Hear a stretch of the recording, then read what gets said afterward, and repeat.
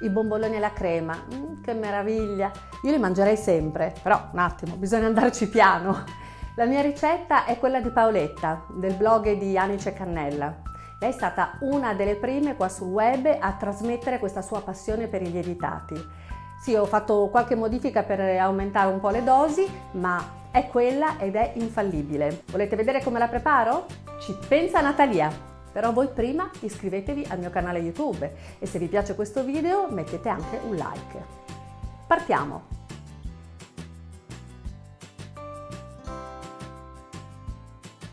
iniziamo a preparare un primo impasto. Allora prendiamo circa 120 grammi, 125 grammi della nostra farina, la mettiamo in una ciotolina, poi aggiungiamo acqua e lievito e diamo una girata.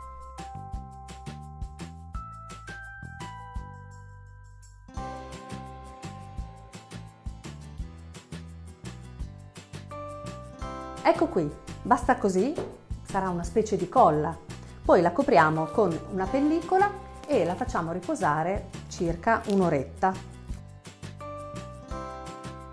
In questa oretta di attesa preparatevi tutti gli altri ingredienti perché il burro che dovremo poi aggiungere dovrà essere a temperatura ambiente e se vi rimane un pochino di tempo, vabbè, leggete un libro. Trascorsa un'oretta il nostro impasto avrà già fatto un po' di bolle e adesso lo andiamo a lavorare o in ciotola oppure se avete anche la planetaria con il gancio per gli impasti.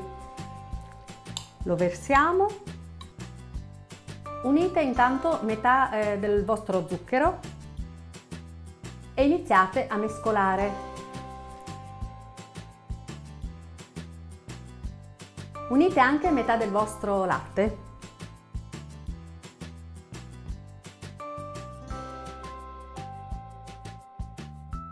È arrivato il momento della buccia di limone e se l'avete mettete anche un pochino di estratto di vaniglia oppure addirittura anche già i semini della bacca. È il momento di aggiungere un po' alla volta anche la farina. Ok, adesso via il cucchiaio e continuate ad impastare con le mani. Unite tutto lo zucchero e aggiungete gli altri ingredienti fino ad esaurirli.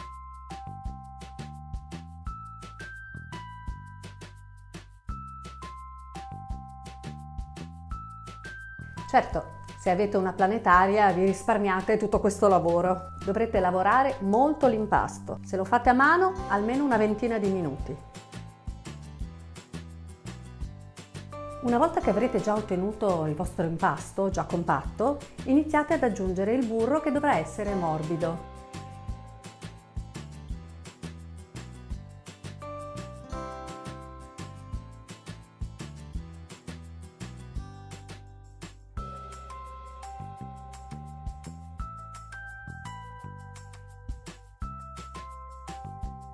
Man mano la lavorate vedrete che diventa sempre più liscia, sempre più lucida. A quel punto, per riuscire a, a maneggiarla meglio, la potete trasferire direttamente sul tagliere. L'impasto è bellissimo, liscio, morbido Adesso io la lavoro ancora perché va sbattuta, eh, devo attivare il più possibile il glutine. Se voi invece fate questo lavoro in planetaria dovrete portarla all'incordatura. Incordatura significa quando l'impasto si arrotola tutto e si stringe intorno al vostro gancio e quindi quando vedete che il vostro impasto si stacca bene dalle pareti, è diventato bello lucido e sta tutto intorno al gancio, vi potete fermare, mentre io adesso la lavoro ancora un po' per sviluppare bene il glutine.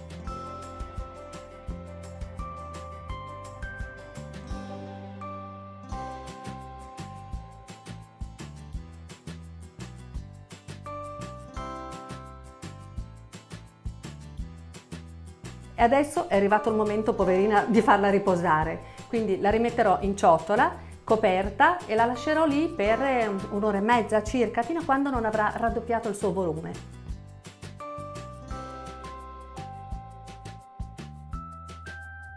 Ecco qui il nostro impasto lievitato. Adesso dobbiamo stenderlo e ricavare i nostri bomboloni. Cospargete il piano un pochino con la farina e capovolgete l'impasto. Allargate leggermente il vostro impasto con le mani e facciamo una piega 3 per renderlo ancora più forte. Poi dopo stendetelo col mattarello all'altezza di circa un centimetro.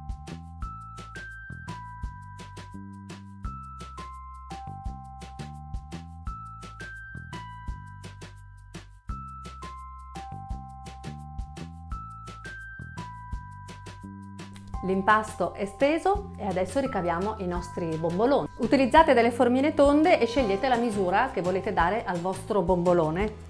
Io scelgo questa, media.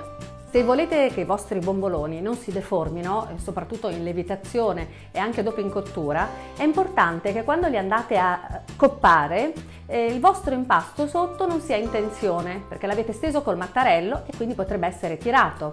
Quindi sollevatelo leggermente e poi andate a tagliare i vostri bomboloni.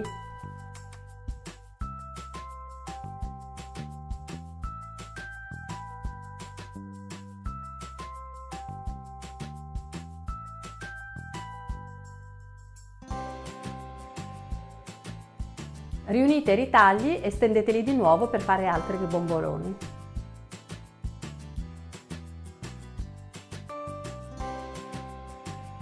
Continuate fino ad esaurire tutto il vostro impasto e una volta preparati tutti i bomboloni lasciateli riposare almeno altri 30 minuti. Poi si va a friggere. Iniziate a preparare l'olio. Allora io uso, vi consiglio di usare un olio di semi di arachidi oppure un olio di girasole altoleico perché entrambi mantengono molto bene il punto di fumo. La nostra frittura deve avvenire in olio profondo, quindi mi raccomando usatene parecchio. Se avete un termometro, misurate la temperatura dell'olio a circa 170 gradi. Se non l'avete, provate sempre con il manico del cucchiaio, lo inserite dentro e se fa le bollicine la vostra temperatura è pronta.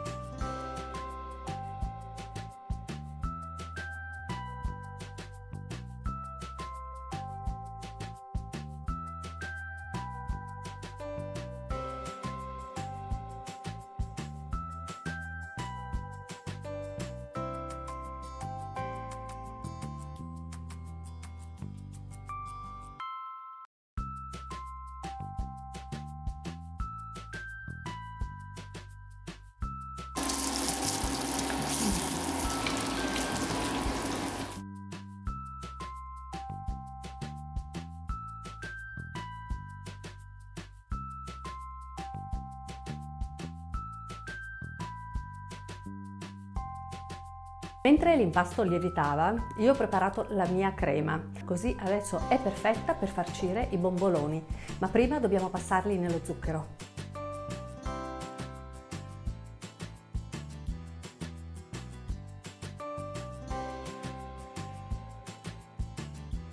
Questa è la ricetta dei bomboloni vuoti all'interno, col vuoto che poi va riempito con la crema. Se invece vi piacciono i bomboloni un pochino più consistenti, allora la ricetta è sul mio blog.